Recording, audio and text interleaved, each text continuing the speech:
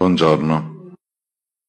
Questa mattina abbiamo una riflessione sempre sulla risurrezione, perché questo è il nostro tema, che riguarda le primissime espressioni di fede dei cristiani, espressioni di fede precedenti di scritti del Nuovo Testamento. Noi sappiamo che i primi cristiani cantavano molto, non erano come me, che non canto quasi mai, perché quando canto crepo i vetri.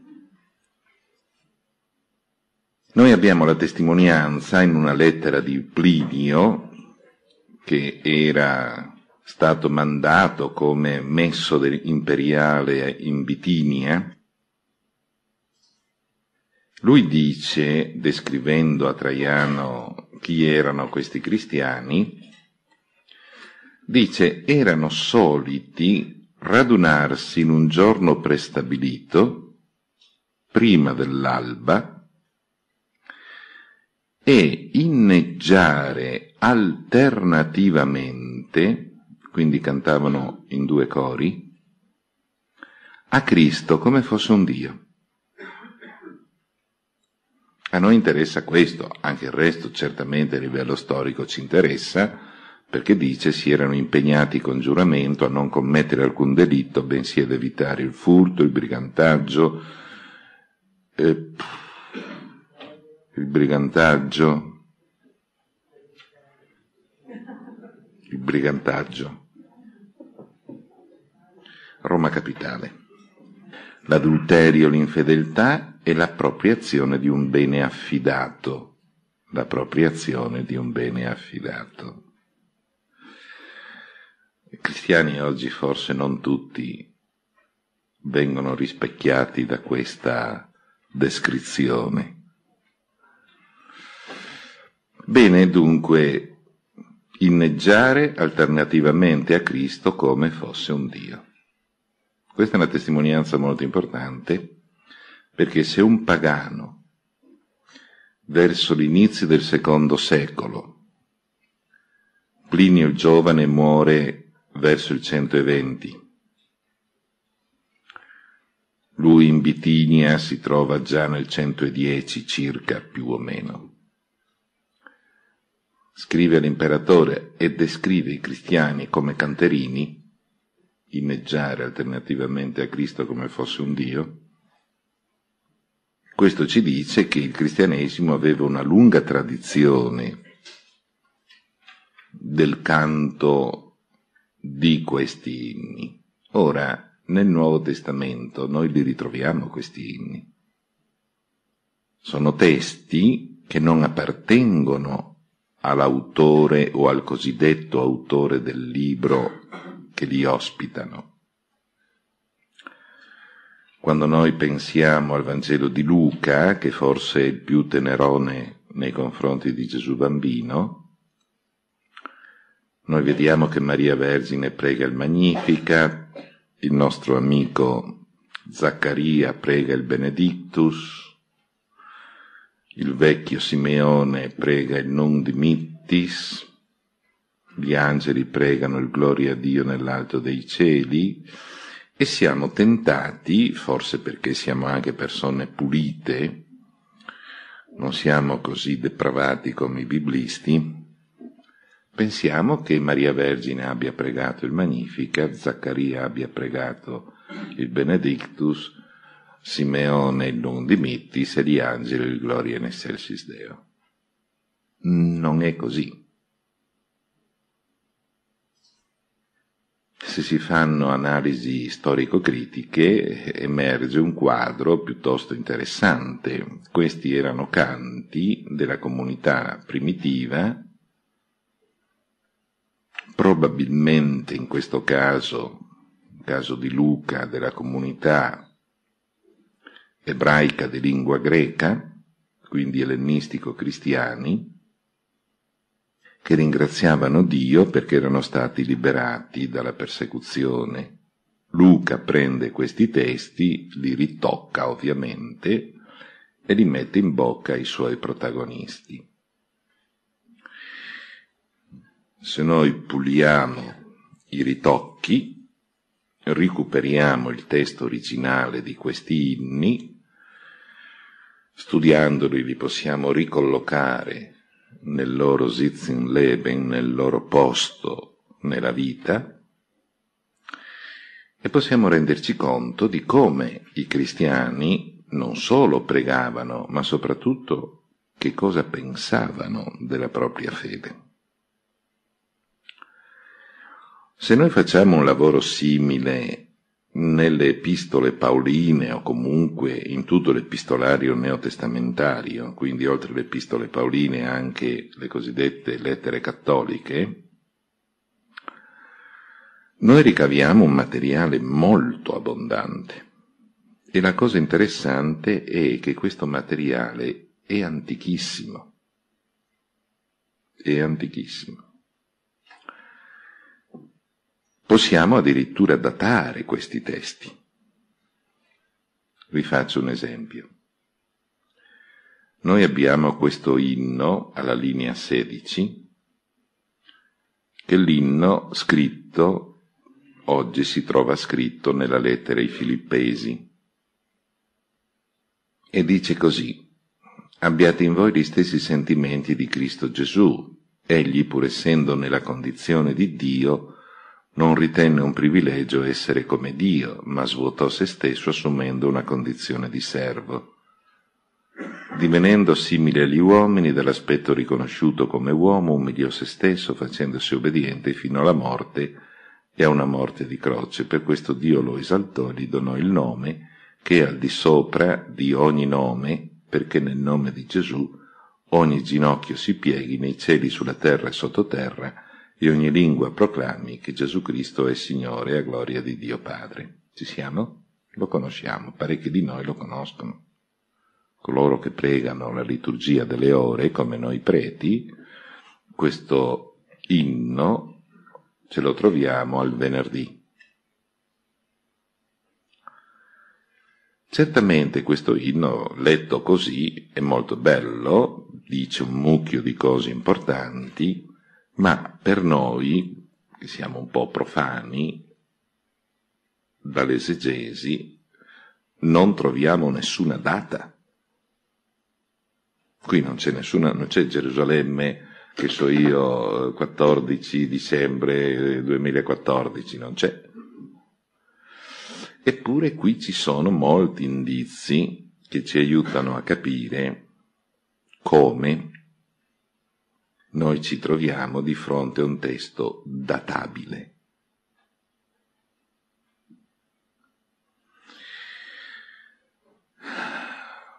Vediamo un poco. Questa parolina. Pardon, privilegio. Sembra una parolina innocente. Guardate che non lo è. È una parola dialettale, non appartiene al greco classico comune, o meglio, non appartiene al greco ellenistico, per essere più esatti, al greco ellenistico, diciamo così, condiviso nel bacino del Mediterraneo. Questa parola è dialettale, è un vocabolo che viene usato nell'isola di Cintro e nelle zone limitrofe nella costa, quindi Turchia mediterranea dell'est, Siria mediterranea del nord. Quella è la zona. Ora lì i cristiani hanno cominciato ad esistere ben presto. Noi sappiamo che verso gli anni 40 sia a Cintro sia ad Antiochia, che si trova di fronte all'isola, c'era una comunità cristiana. Questo testo è stato composto da loro, perché solo nella loro parlata greca c'era questo vocabolo. Nella parlata greca che si parlava a Gerusalemme questo vocabolo non esisteva, non veniva mai usato. mentre lì sì. E allora qui noi cominciamo a dire, ok, noi sappiamo che questo testo non è di Gerusalemme, non è di Damasco, non è di Samaria, non è di Galilea, ma è del nord. Questo testo è stato composto da ellennisti cristiani, cioè da ebrei di lingua greca che appartenevano a queste comunità. Dove esattamente non è possibile dirlo, ma senz'altro o a Cintro o ad Antiochia. L'epoca se voi notate, i nostri amici hanno adoperato un vocabolo, morfè, theu e morfè dulu, condizione di Dio e condizione di servo. A noi, ovviamente, questo tipo di espressione non dice molto. Ma nel Medio Oriente questa dicitura è molto importante. Perché? Uno non è Dio perché appare come tale. Morfè vuol dire forma esterna. Quando noi chiamiamo un geometra a misurare un campo, ci dice che la morfologia del terreno, ipotesi, è accidentata. Morfè vuol dire forma.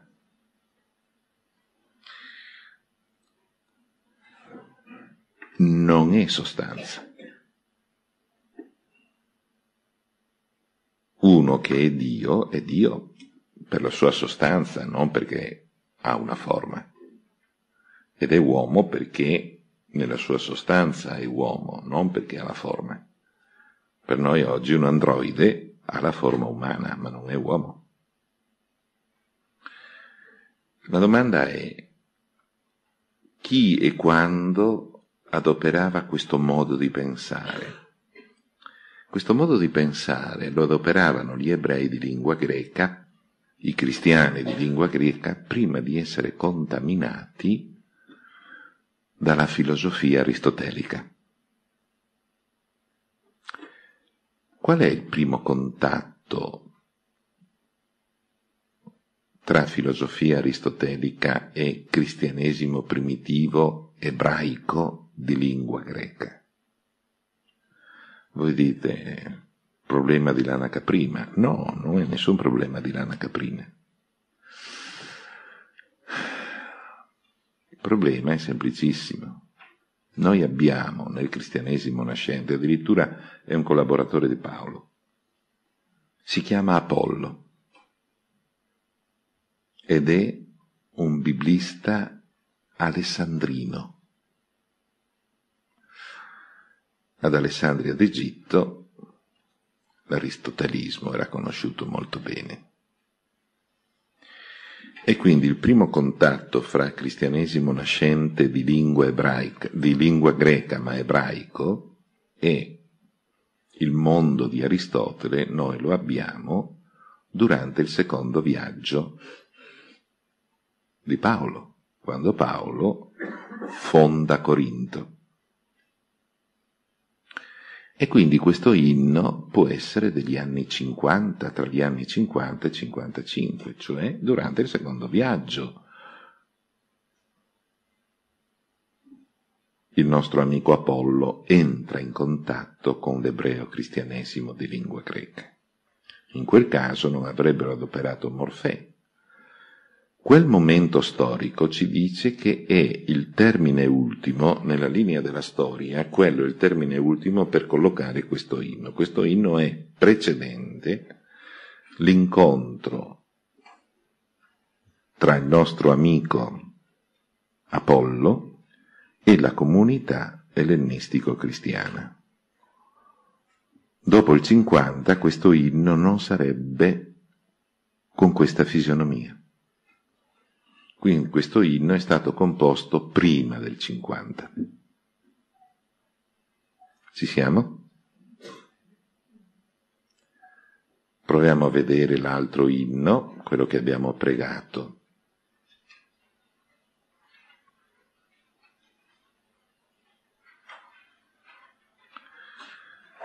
Anche a noi questo testo non dà nessuna data, ma per chi ha l'occhio clinico questa parola diventa magica. Etnesin, leggenti.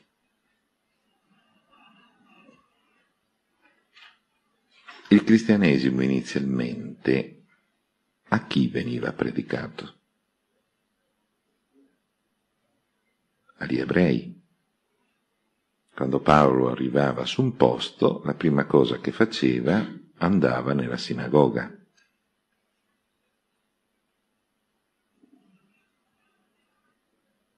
C'è stato un episodio durante il primo viaggio di Paolo in cui gli ebrei respingono Paolo e Barnaba e loro si rivolgono ai pagani e i pagani rispondono. Vedete questa parolina? Vedete quest'altra? Laos. Etnos. Riuscite a identificarle? In ebraico esistono due nomi. Uno è Ham e l'altro è Goi. Ham è sempre adoperato per indicare il popolo di Israele. Dio dice spesso il mio popolo, Hammi. Hammi è sempre Israele. Per dire un popolo pagano, Israele dice Goim, Goi singolare, Goim plurale. E la traduzione italiana è popolo, popoli. Questa differenza che c'è nel mondo ebraico è chiaro che lo troviamo qua. Laos è il popolo di Israele, ma anche la Chiesa. Etnos sono i popoli pagani. Ok? Qui si parla della predicazione ai popoli pagani. Questo inno non può essere stato composto prima del primo viaggio di Paolo. Ma questo testo è stato composto subito dopo il primo viaggio di Paolo, viaggio nel quale lui per la prima volta predica ai pagani e si pone il problema, ma i pagani devono essere circoncisi e poi battezzati o possono essere direttamente battezzati. E questo problema verrà risolto al concilio di Gerusalemme, cioè nel 50. Dunque questo inno è leggermente posteriore all'inno che abbiamo visto prima, perché quello di prima noi non possiamo collocarlo a causa di questo tipo di vocabolario non possiamo collocarlo dopo la conversione di Apollo, perché Apollo porta l'aristotelismo dentro alla comunità ebraico-cristiana di lingua greca e quindi non si sarebbero espressi con questo vocabolo, perché questo vocabolo indica chiaramente la mentalità ebraica non contaminata dall'aristotelismo. Perché l'ebreo dice ciò che vede e ciò che vede è sempre la forma. Il greco dice no, la forma è semplicemente il primo approccio, si bada alla sostanza. E quindi questo è un indizio per il primo inno, questo è il più antico. Questo invece è leggermente più recente e posteriore. Naturalmente noi non dobbiamo mai dimenticare che i primi scritti del Nuovo Testamento sono testi scritti nel terzo viaggio di Paolo e quindi siamo dopo la metà degli anni 50. Questi sono testi precedenti a Paolo. Non abbiamo in questi testi il condizionamento teologico del pensiero paolino. Questi testi sono liberi dal condizionamento del pensiero paolino. Sono liberi anche dal condizionamento del pensiero evangelico, perché i Vangeli compaiono del 65 in avanti. Quindi nella linea della storia voi avete i primi scritti nel terzo viaggio, tra il 55 e il 60. Nel 65 avete il primo Vangelo, che è Marco, nell'85 avete Luca e Matteo, nel 96, tra il 96 e il 100, avete Giovanni. Questi testi sono dunque tra il 40, non prima del 40, perché questo non è prima del 40? Perché non c'era la comunità di Antiochia e la comunità di Creta.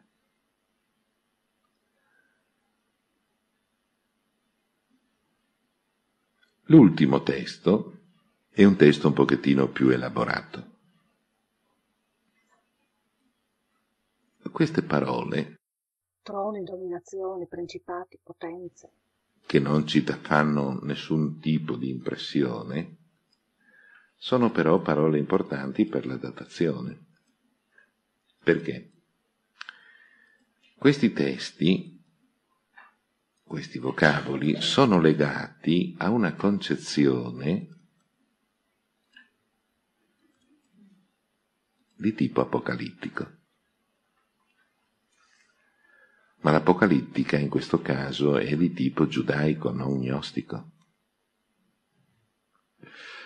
Giovanni adopera un vocabolario, non concetti, ma vocaboli, che appartengono al mondo gnostico e l'Apocalisse è collocabile nell'ultima decade del secolo, tra il 90 e il 100 per essere più esatti, dovremmo essere verso il 96, durante la persecuzione di Domiziano. Questo tipo di vocabolo noi non lo troviamo più in Giovanni Apocalisse e quindi appartiene alla vecchia apocalittica giudaica. Naturalmente questa apocalittica giudaica, quando scompare nel cristianesimo primitivo per lasciar posto all'apocalittica cristiana, dopo la pubblicazione del capitolo 13 del Vangelo di Marco, dove Gesù apre una nuova apocalittica. Nel capitolo 13 del Vangelo di Marco, se voi andate a leggerlo, trovate un discorso che fate fatica a capire. Perché è un discorso dove Gesù adopera i criteri apocalittici, ma non con questo vocabolario. Questo vocabolario è scomparso. Ora, che cosa Gesù abbia detto a livello materiale quando ha fatto il discorso sulla fine di Gerusalemme, sulla fine del mondo, per noi è un po' difficile ricomporlo. Noi conosciamo le sue idee tramite questo discorso del capitolo 13 di Marco e dei testi paralleli, ma sappiamo che non era più questa Apocalisse. Come mai viene tramandato questo discorso di Gesù ripreso dai tre sinottici, viene scritto da Marco per primo verso il 65, eppure in questo inno noi troviamo ancora questa dicitura. che non appartiene, chiamiamola così, alla nuova apocalittica di Gesù. La troviamo semplicemente perché questa è una tradizione dell'apocalittica ebraica. Quando l'apocalittica cristiana non era ancora stata elaborata. Il discorso di Gesù si tramandava, ma non aveva ancora creato una scuola teologica. Questo ci sta a dire dunque che senz'altro il testo è precedente il Vangelo di Marco. Possiamo anche andare un pochettino più in là. Nel mondo greco questo concetto primogenito non è importante, ma nel mondo ebraico questo concetto è importantissimo. Se voi notate, questa parolina che vi sto sottolineando, icona è sotto arche, si trova immediatamente dopo, in tutti e due i casi, ha una costruzione particolare.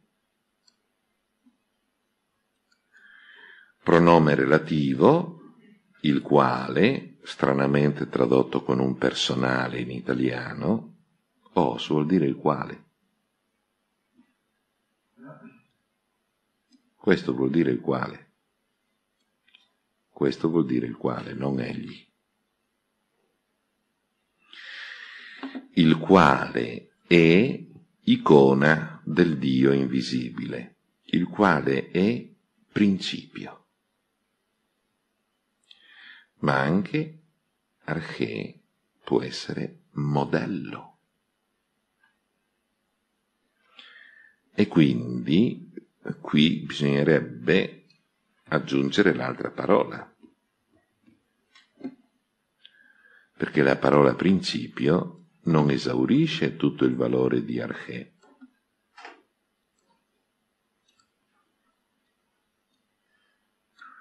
Infatti, questo concetto icona è legato esattamente a questa dicitura. Primogenito. Come questo concetto Arché. è legato a questa dicitura. Primogenito. Questo concetto è legato a questa dicitura. Primogenito di tutta la creazione. E questo concetto è legato a questa dicitura. Primogenito dai morti. Lui non è solo il principio, ma è il modello della nostra risurrezione. Primogenito dai morti. In italiano hanno messo il verbo, che in greco, se avete notato, non c'è. Dov'è il verbo qui? Non c'è. Primogenito da i morti. In italiano hanno esplicitato primogenito di quelli che risorgono dai morti. In greco è così primogenito dai morti. Questo l'hanno aggiunto. Questi concetti sono espressi in greco, ma sono totalmente ebrei. Non sono greci. Anche questo testo risente della comunità ebraico-cristiana di lingua greca prima dell'incontro con i pagano-cristiani.